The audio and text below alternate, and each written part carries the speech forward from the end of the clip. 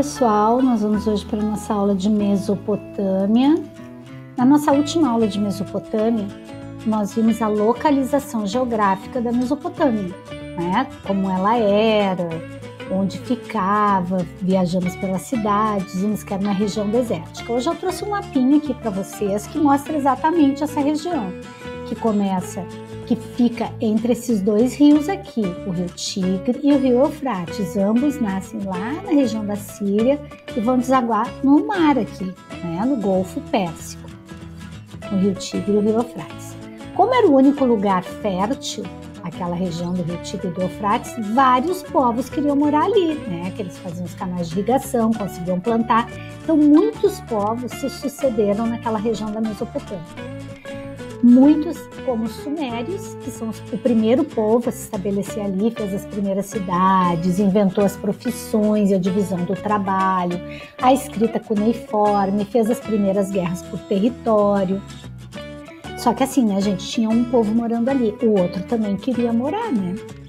Porque era o único lugar que dava para morar, que o resto era deserto. Então, era muito comum um povo tentar dominar o outro para morar ali. Os acádios, então, foram o segundo povo que ficaram ali.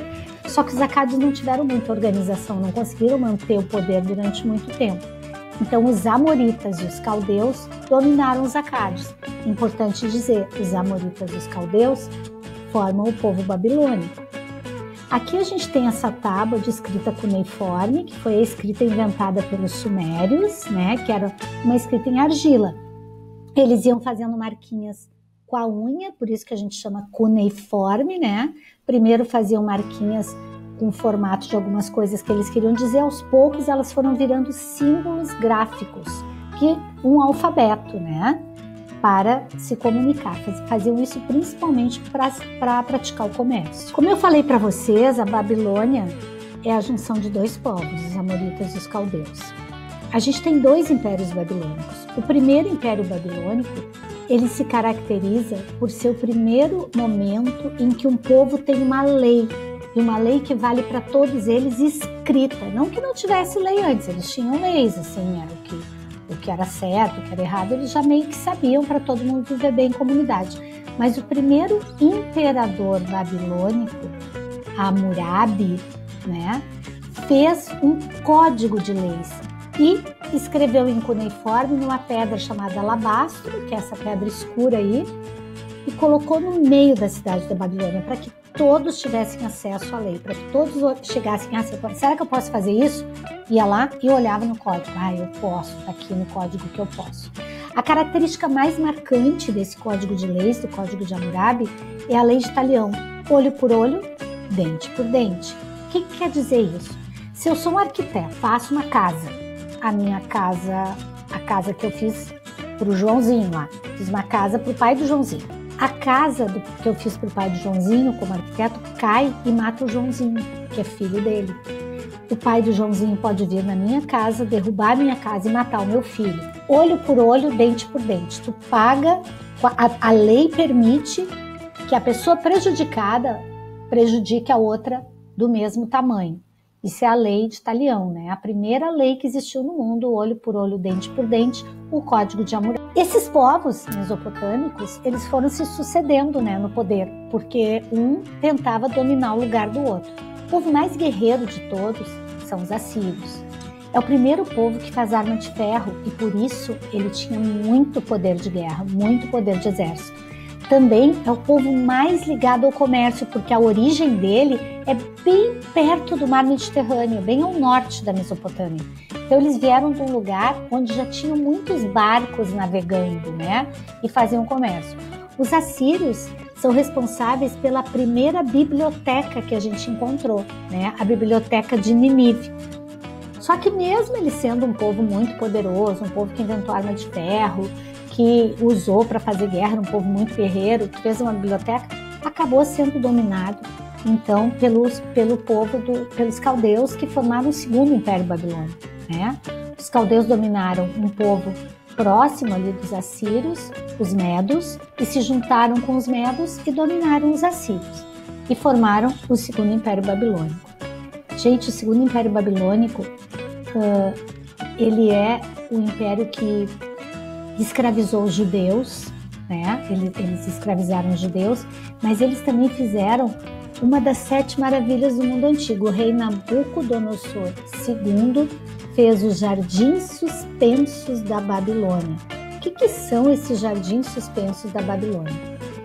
O rei era casado com uma princesa que vinha de lugares mais férteis, mais verdes.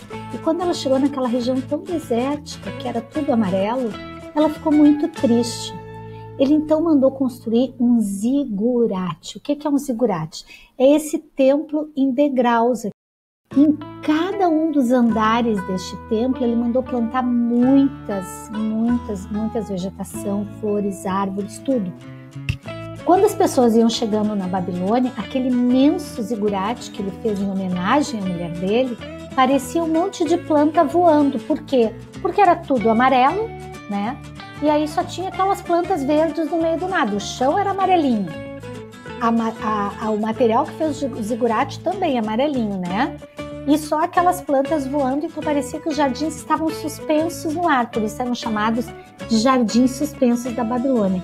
E são uma das sete maravilhas do mundo antigo. Eles reergueram a Babilônia, né, o segundo império, Nabucodonosor, cobrando impostos, eram grandes cobradores de impostos. Importante dizer, esses povos todos eles se organizavam em cidade-estado, cada cidade-estado tinha sua própria divindade. Isso é bem importante porque depois a gente vai ver um pouquinho sobre a mitologia dos povos do Oriente, né, da Mesopotâmia, do Egito. A gente vai falar muito de deuses depois, né? Então é importante dizer isso. Quando eu falo que os jardins suspensos são uma das sete maravilhas do mundo antigo, vocês devem estar pensando: o que é isso, professor? Sete maravilhas do mundo antigo? Tem sete maravilhas do mundo antigo e sete maravilhas do mundo moderno. Os jardins suspensos da Babilônia, a gente nunca vai saber se eles realmente existiram, mas eles são citados por muitos povos, então eles devem ter existido, mas não tem nenhum vestígio arqueológico deles, tá?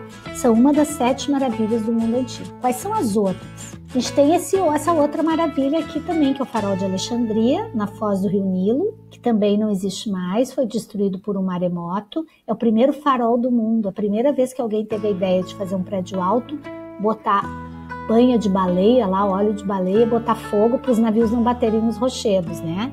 Então, o primeiro farol que se tem notícia no mundo, o farol de Alexandria. Depois a gente tem o Colosso de Rhodes, que é uma espécie de farol também, que fica na entrada da ilha de Rhodes, em que uma estátua enorme, né, fechava a região portuária e carregava uma chama nas suas mãos que funcionava também como farol. Não existe mais o Colosso, ele fica próximo da, da Magna Grécia, né, da Sicília ali, e tem só assim pedaços, né? Um pé, alguns pedaços dessa estátua no mundo, não sobrou nenhum. A gente tem o mausoléu de Alicarnasso, que a mulher do rei Masolo mandou fazer o maior túmulo possível, né? Então esse mausoléu também que fica na região da Turquia não existe mais também, só vestígios e ruínas arqueológicas. O templo de Ártemis na Grécia, né? Que é um templo também que só temos ruínas, está completamente destruído. E a estátua de Zeus, essa sim em Olímpia, que é a maior estátua do mundo grego, também não existe mais. Mas a maravilha mais importante ainda existe. A maravilha do mundo antigo, a mais importante, a mais interessante, ainda está entre nós. As pirâmides do Egito. Né? Então, as pirâmides do Egito são é a sétima maravilha do mundo antigo, é a mais importante e ainda está entre nós. Quatro mil anos contemplam a história. E é o nosso próximo assunto, Egito.